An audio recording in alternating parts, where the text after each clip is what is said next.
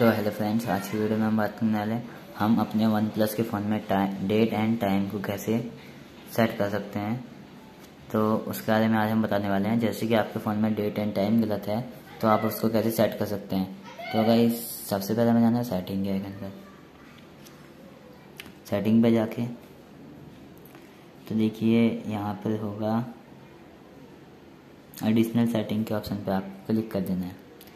इधर क्लिक करने के बाद सेकंड नंबर पे लिखा हुआ डी टी और डेट एंड टाइम तो इस पर हमें क्लिक करना है। इस पर क्लिक करने के बाद देखिएगा इस यहाँ पे लिखा हुआ है डेट तो आप अपने फ़ोन में, जैसे कि हमारे फ़ोन में है आज अट्ठाईस तारीख है हमारे तो इसमें तो सही डेट है। अगर आपके में सत्ताईस या छब्बीस हो तो आप इसको सही कर सकते हैं।